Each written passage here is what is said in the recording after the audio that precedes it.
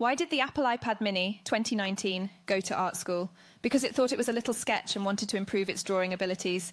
And now 11 reasons to avoid buying Apple iPad Mini 2019.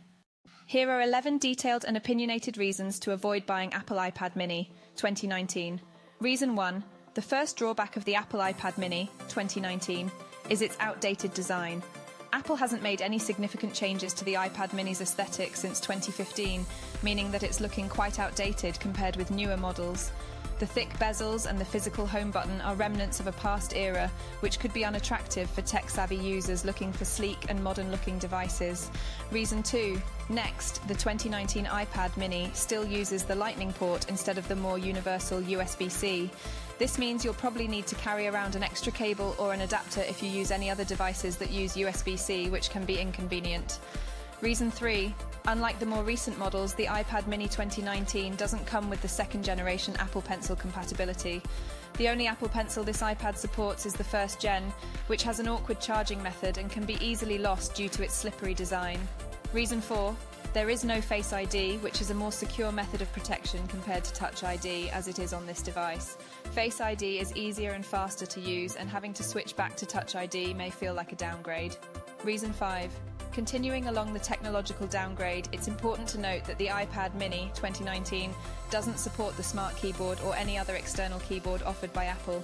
This limits its usage for productivity tasks, making it less versatile than other options. Reason 6 another downside to the iPad. Mini 2019 is its limited storage options.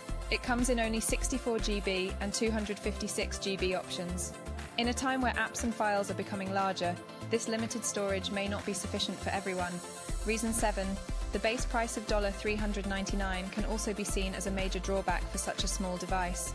Considering the more advanced technology and larger screen size offered by other iPads costing just slightly more, the price may be hard to justify. Reason 8.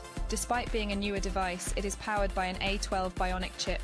Although still powerful, it's not the latest or fastest Apple processor for iPads, which could affect the device's speed and performance over time. Reason 9. The device's 7.9 inch display may be too small for some users. If you're used to larger screens, the comparatively smaller iPad mini screen may seem restrictive. Reason 10. The device doesn't have any ProMotion technology, meaning it's capped at a 60 Hz refresh rate. This could translate into less fluid visual and gaming experiences. Reason 11.